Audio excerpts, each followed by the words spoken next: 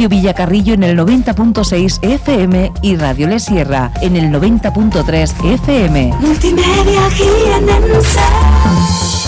Son las 11 y un minuto de la mañana y tal y como os hemos venido contando, la segunda semana de mayo se va a dedicar al olivar en Villanueva del Arzobispo. La tercera feria del aceite llega con ganas de hacerse fuerte en la promoción de este sector y entre sus actividades programadas estará la parte técnica con una jornada de formación. Será el día 13. Y para presentarnos esa jornada técnica han venido esta mañana aquí a los estudios de la radio Maribel Lozano. ¿Qué tal? Muy buenos días, Maribel. Oh, sí, te he dicho Maribel Lozano. Maribel Lozano, la delegada. Maribel Rescalvo. ¿Sabes por qué te he dicho Maribel Lozano? Porque como estamos hablando de los delegados y toda la pesca, para luego repartirnos de la Junta cuando ya... te he dicho Maribel. Maribel Rescalvo. Exacto. Correcto. Y eh, Maite Olmedo, a ti te presento bien. Sí, de momento sí. Maite Olmedo es la gerente de la empresa Consultoría Global de Villanueva, que es la empresa encargada de, esta, de la ejecución de esta jornada. Buenos días a los dos. Muy buenos días. Hola, ¿qué tal? Buenos Bienvenidas. Gracias. Jornada de formación, una jornada técnica que va a, mm, a, a darle un plus de calidad a esa feria del aceite que se ha organizado en Villanueva Arzobispo. ¿Quién me empieza, Maribel? Yo misma, si quieres. cuéntame. Cuéntame. bueno, en este caso, pues eh, son unas jornadas que solicitamos a Diputación. Son jornadas a través de la formación que se ofrece desde el área de, de agricultura y son unas jornadas bastante interesantes. Son, habla sobre la, eh, la comercialización de nuestro aceite. Era un tema que no se había tocado en lo que es nuestra, nuestra zona. De hecho, dentro de la comarca no se han hecho una jornada eh, parecida. Y una vez que nos pusimos en marcha con el proyecto, pues bueno, la alegría de que tenemos una empresa local, en este caso en la figura de Maite Olmedo y Consultoría Glo- Global, que ella es la gerente, eh, pues bueno, pues ha preparado que ahora nos lo va a presentar un, un programa mm, de un nivel bastante, bastante alto, la verdad, con unas ponencias muy buenas. Y, y era conveniente decirle a todos nuestros agricultores que dentro de esa semana eh, que hemos preparado para ellos, pues hay formación gratuita, que es muy importante que la gente lo sepa. ¿Qué tipo de forma? Bueno, ahora, ahora, Eh, ahora, ahora hablemos Ahora ya. lo habláis Vale. con, ¿vale? Es una, forma, una jornada de formación totalmente gratuita. En este caso, aparte de agradecer a la Diputación, hay que agradecer a la cooperativa San Francisco eh, de Villanueva del Arzobispo que nos ceda las instalaciones para hacer el evento y se hace un trabajo de colaboración, en este caso con el ayuntamiento, eh, finalizando con una pequeña copa, que eso es muy importante, un pequeño picoteo Claro, que es luego que- ayuda. Siempre, siempre gusta, la verdad que sí. Es que, ¿sabes qué pasa? Antes de la crisis del 2008, el- vamos, no había evento en un ayuntamiento que no terminara con una copa de vino español, ¿sabes? Claro, llegó la crisis y se, se llevó por delante las copas de vino porque la gente decía, bueno, si no tenemos para pagar la luz, ¿cómo Claro. vamos a poner una copa de vino en el ayuntamiento? Y ahora poco a poco se está empezando a volver a recuperar eso de esa buena tradición. Que lógicamente es, eh, es, un, es, una, es un evento que, que no es igualitario para todo el mundo, porque todo el mundo no puede asistir, pero todo el mundo que asista sí podrá disfrutarlo, ¿no? Exacto. Dices que yo no me bebí la copa de vino esa, va a haber ido la jornada. Exacto. Y luego, mm, vamos, va a ser producto local. O sea, todo lo que pongamos allí va a ser producto vino local. también? No, el vino no, porque no lo tenemos. Me refiero al tapeillo que se haga, va a ser producto local. Vale. Y bueno, más que nada decir la importancia en sí de esta jornada eh, que ahora va, va a desarrollar Maite y os va las ponencias son, como digo, de 10. Eh, La gente está muy contenta.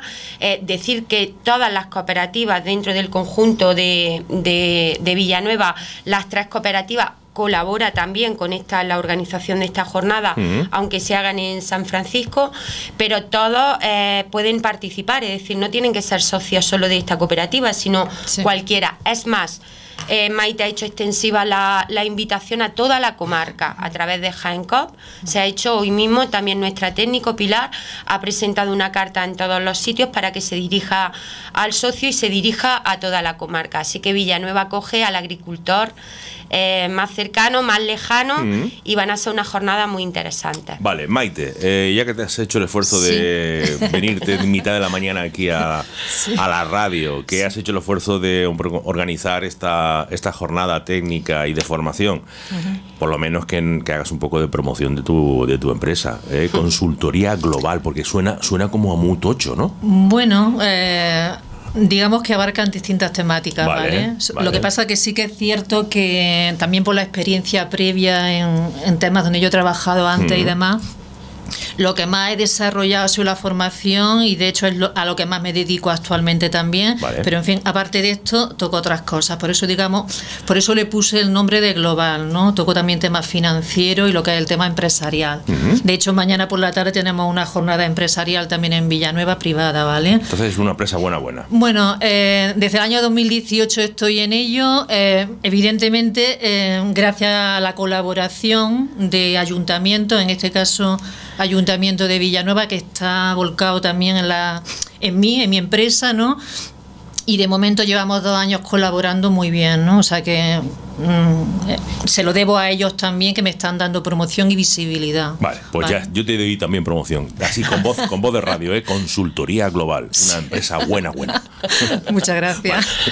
Bueno, cuéntame, eh, la jornada, Maite, ¿qué, qué vamos a poder eh, disfrutar allí? allí? Vale, venga, pues mira, eh, antes de nada decir, como previamente ya había dicho Maribel, esta jornada está dentro de una subvención que la- el Ayuntamiento de Villanueva solicitó a través de la Concejalía de Agricultura, ¿vale? Eh, a mí la, conceja- la concejalía me, dio el, el- anexo, el proyecto en sí, y en base al proyecto, a lo que, al objeto del proyecto, hemos preparado la jornada. Es decir, los ponentes, los cinco paneles de expertos que componen esta jornada técnica, son, se van, van a tratar temas específicos que aparecen en el proyecto. El objetivo principal es la internacionalización del sector del aceite de oliva, pero mm, bajo un punto de vista también de la sostenibilidad. Vale. Ese es el, el factor Los clave, principios digamos. básicos de esta jornada. Sí, sí, y sí. a partir de ahí, ¿qué hay?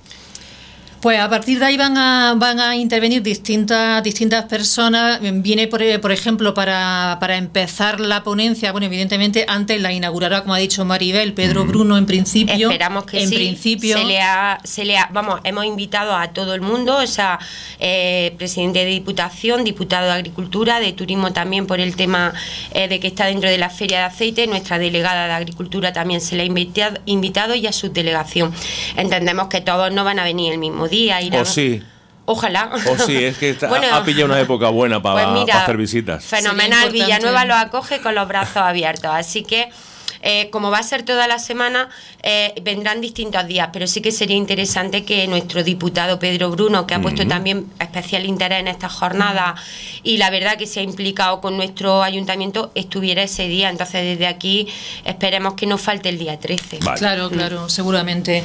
Bueno, pues la, la- mm, si quieres te hablo un poco de quiénes van a intervenir, ¿vale? La, la primera ponencia corre- correrá a cargo de Alejandro Terriza Torres, que es actual direc- director adjunto de la Fundación Copade. Es director desde el año 2021, creo que en junio o julio eh, ocupó este cargo, pero siempre se ha dedicado a lo que es el tema de la aplicación de los objetivos de desarrollo sostenible, agricultura en la agricultura del olivar y la responsabilidad social empresarial, ¿vale? Esa es una primera ponencia, evidentemente gente que está en el sector oleícola lo conocen, ¿vale? Saben que es un experto en la materia y que va a dar aportes muy buenos para lo que es el tema del objetivo de desarrollo sostenible, cómo introducirlo, cómo aplicarlo y cómo llevarlo a cabo a partir de ahora, ¿no? Genial, ahora que hay muchas cooperativas que están un poco investigando ese, ese nicho, ¿no? que es la, la responsabilidad social a través de la economía sostenible. Somos Sí, una empresa con sí. responsabilidad social de hacer un producto que tenga sostenibilidad medioambiental. ¿no? De hecho, eh, José Ángel, el futuro va por ahí. eh, eh, incluso aquí en Jaén, Jaén, en la provincia de Jaén, de sobra ya es conocido que hay em- cooperativas oleícolas que son pioneras en lo que es el tema de la implantación de los objetivos de desarrollo sostenible y yo me responsabilidad conozco, social. me conozco una. Sí, una La- muy cercana y otra no tan cercana, pero co- yo- también. Yo, me conozco la cooperativa San Vicente de Mogón. Evidentemente, sí. Y la, la de mm, Canena. Ajá. Esa es otra que también. Pero la de Mogón me la conozco más. Sí, sí, claro, claro, claro. Pues por ahí va el tema, ¿no? Por ahí un poco ese es el objetivo, aparte de evidentemente tener una jornada de convivencia y participación, ¿no? Que a fin de cuentas es lo que se trata, ¿no? De que asistan gente, de que asistan agricultores, empresas relacionadas con el sector, pues llámese empresas de agrofitosanitario, agrícola, eh, comunidades de regantes, evidentemente, asociaciones de agricultores, ASAJA, COA y demás, todos esos tienen que hacer también partícipes a sus socios de que esta jornada interesa porque se van a aportar muchas soluciones y mucha información de valor. Correcto. ¿Qué más? Pues lo que te decía, eh, la primera ponencia correrá a cargo de Alejandro Terriza eh, Torres, la segunda será a, cargo de Francisca Molina Herrador, ¿vale? Eh, esta, esta mm, ponente es DIRSE actualmente ¿vale? Es la que lleva el tema de irse, la directora en responsabilidad social empresarial de una cooperativa también importante aquí en la provincia, bueno, un, grupo cooperativo, perdón, es el caso de Interóleo, ¿vale? Con ella yo estoy eh, coordinando también esta jornada porque aparte de eso coordino otras cosas con ella, ¿no? Entonces ella también digamos que es una parte importante en el desarrollo de esta, de esta jornada, ¿vale? Después intervendrá también eh, María Elena Escudero Fernández Calvillo, ¿vale? Esta es, aparte de docente, articulista e investigadora, también creo que ha trabajado puntualmente para un centro de interpretación del olivar de aquí muy conocido, el de Úbeda. Hmm. Y en esta ponencia también, ella va a hablar también sobre todo el tema, va a aplicar el tema del aceite de oliva, pero bajo el punto de vista de la salud, de los, de, los beneficios que aporta a la salud. Y en esta ponencia incluiremos también una cata de aceite, por supuesto. Vale. Eh, seguirá también eh, una ponencia que, vamos, mm, hasta ahora con los que he hablado de cooperativas y demás, les, gustan particularmente porque ya han trabajado previamente las cooperativas con este hombre, es el caso de Juan Vilar Hernández. ¿Vale? Eh, es una de las más de las figuras más prestigiosas dentro de em, ¿cómo diría yo? A ver, la es que no me sale la palabra la estadística del olivar. Hmm. O sea, ese hombre, ese hombre tiene todos los números, todas las cifras del olivar las tiene él. Sí, sí, sí. De hecho, es un ponente que yo se me consta que a nivel internacional da muchas ponencias, no solamente a nivel nacional, conocedor del tema como poco, es cierto, ¿no?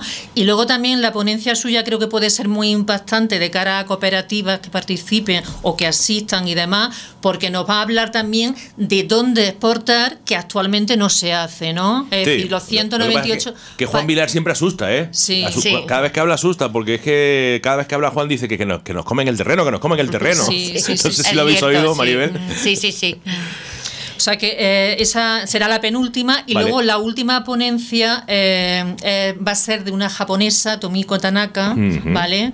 Esta, esta ponencia, evidentemente como el resto de ponencias, las veo muy interesantes, pero esta yo creo que va a situar de primera mano. Eh, el punto de vista japonés de una cosa que nosotros no le damos importancia. Va a ofrecer, efectivamente, es decir, es una forma eh, también de promocionar nuestro aceite de oliva a un mercado japonés. Y sabiendo lo que piensan otros, que no somos nosotros de nuestro aceite. Sí, además la intención de esta jornada básicamente es eso, ¿no? Eh, poner puntos en común que, que se hacen en otros países, que no se hacen aquí y que podemos unificar criterios pues para, para hacerlo mejor. Eh, no, no, decir que es que yo creo que nos vendemos muy mal y no, sabemos eh, muchas veces nosotros mismos el valor que se le da desde fuera a nuestro a nuestro producto y reivindicar mi pueblo, vamos, yo sé que toda la comarca, ¿no? Pero en este caso eh, Villanueva es un productor de los más grandes a nivel a nivel mundial y es necesario, o sea, volver a insistir en la en la participación, mm. en la participación de todos los sectores en esta ponencia. Lo de Japón, volviendo al tema de Japón. En, una expoliva o algún bochinche de estos, una vez entablé conversación, entrevista con un japonés y me decía que en Japón, en la farmacia, lo más habitual es encontrar una caja de pastillas mm, llenas, o sea, de cápsulas llenas de aceite de oliva virgen extra. No llevan nada más son aceite de oliva virgen extra tomado en cápsulas vendido en la farmacia. Hmm. Yo eso no lo he visto por aquí en ningún lado. En ningún lado. Pues es lo que ella dice, es que tienen una visión diferente del producto a nosotros, porque eh, hace, muy, hace muy poco, no, en la presentación del cartel de la feria de aceite, volvíamos otra vez a decir siempre lo mismo. Eh, se va a dar un desayuno saludable a los niños. Y nosotros lo vemos como normal, porque comemos pan con aceite, pero no es normal. O sea, hay que incentivar que es algo muy saludable lo que se está haciendo. En otros países del mundo, el aceite de oliva virgen extra es un superalimento. Claro, claro. Aquí no. Aquí es eh, para echárselo a la tostada. Exactamente. De hecho, de hecho, la ponencia de María Elena Escudero va a hablar justamente de eso, ¿sabes? De lo que es el tema del el aceite de oliva como, como algo beneficiable, eh, que beneficia a la salud, ¿sabes? Aparte, evidentemente, ya de lo que es el tema de sostenibilidad, el beneficio en sí para la salud, ¿no? Vale, bueno, y después ya finalizamos con una copa de vino, ahora que ha dicho el, ahora ha dicho el gobierno que el vino, pero con moderación. Bueno, vino, cerveza, no pasa nada. ¿Quién dijo también algo de que una copilla así para poca cosa? No me acuerdo quién fue otro político. Alguien muy listo, tuvo que ser. bueno, entonces Maribel, una jornada redonda, ¿no? ¿Estás contenta cómo ha quedado? Mucho, mucho. Hmm. Agradecer a Maite a la gestión que ha hecho. Ha habido un feedback continuo con la concejalía, con el trabajo. Vamos, siempre que se le, se le ofrecen, como ella ha dicho, porque actualmente en Villanueva pues intentamos que nuestras empresas locales aunque el mundo está abierto y hay que dar publicidad a todo el mundo, pero nos satisface mucho trabajar con nuestros empresarios locales y Maite en este ámbito en formación la verdad que está dando el do de pecho, como se suele decir, y en este caso una jornada impresionante. A partir de hoy, pues se promociona, aunque ya hay alguien que ha, publicado en las redes que no pasa nada, pero bueno, eso es normal. no, pues porque pasan los carteles y lo publican antes y no, pasa nada. Pero además ha tenido impacto. Sí, porque, ha tenido, porque ha tenido comentarios. Pero que es genial, o sea, que eso mismo, comentarios muy positivos, no me digas que viene Juan Vilar, no me digas que viene... Hay gente que está muy eh, contenta eh, con las ponencias. Juan Vilar es colaborador de 10TV, ya, ya, ya. ¿eh? Sí. Sí, sí pero que bueno, que la gente es súper uno, uno, que tiene amigos. Además, me suena de que es por aquí, por la zona también, ¿verdad? De Chilluevar. ¿Eh? O sea, que con más motivo todavía. Bueno, yo lo único que quiero hacer hincapié de verdad es que, bueno, que yo como empresa me presto a, a, hacer cosas de este tipo y lo que y lo que haya que hacer porque bueno porque además yo trabajo en colaboración con otras empresas, evidentemente la unión de muchos pues se pueden dar como resultado eventos de este tipo, ¿vale?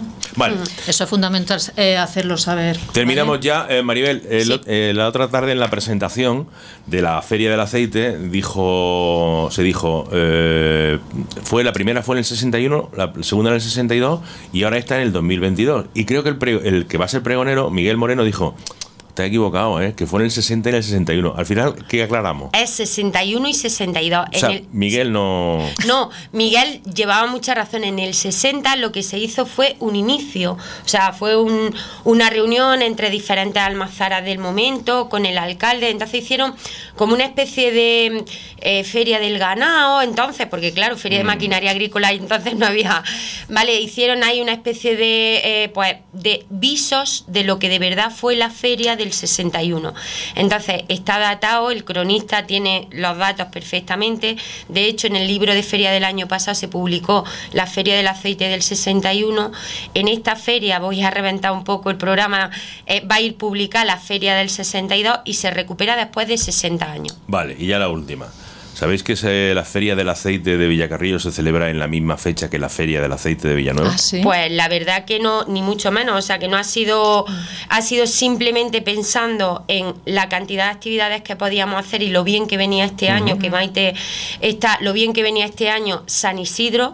Eh, San Isidro para Villanueva, pues no es fiesta local porque en función de cómo caigan nuestros patrones se va, se va viendo, pero es que es súper importante eh, dentro del, sector dejo ahí porque dentro, de, dentro de las buenas pocas cosas que tenemos, si las repartimos. Pues no, pues mira, eh, que la gente puede visitar los dos pueblos. o sea, si es que no pasa nada. Ya que salgo a la feria del aceite me da igual, ¿eh? Pues me da igual, pasa. las dos. Exactamente. De todas formas, esto, la feria en sí, la jornada también como tal, eh, es un evento comarcal. Me refiero que no está vinculado únicamente Villacarrillo, Villanueva, ¿no? Sino que, pues pueden venir pueblos de alrededor, porque además también ese es el objetivo que nosotros pretendemos, darle visibilidad a lo que es la comarca, mm. ¿sabes? Señora, sí. No, no, decir que, que, que lo importante es lo que acaba de decir Maite lo mm. importante es eso, que al final no dependemos de nuestra primera economía, que es el olivar, y que y que la gente pueda repartirse, que está genial. Claro, y animar de, de verdad eh, a que asistan, a que vayan a las ferias, tanto de Villacarrillo como de Villanueva, que asistan de verdad la gente del sector eh, a esta jornada en concreto. Hmm. Yo creo que van a, a recibir o van a obtener una experiencia positiva porque se van a exponer temas muy interesantes, ¿vale? Y, y va a ser muy enriquecedor para, toda la para todas las personas que vayan. Seguro que van a, mm, a sacar eh, muchas nociones positivas de la jornada, de lo que se va a hablar en ella, ¿sabes? Eh, el objetivo básicamente es encontrar nuevas líneas de nuevos comercios, nuevas aperturas de, mm, de países para exportar y creo que el objetivo se va a conseguir. Maite Olmedo y Maribel Rescalvo, muchas gracias. Gracias a vosotros. con Muchísimas nosotros. Gracias a vosotros siempre. Adiós. Adiós, gracias. Radio Villacarrillo en el 90.6 FM y Radio Le Sierra en el 90.3 FM. Multimedia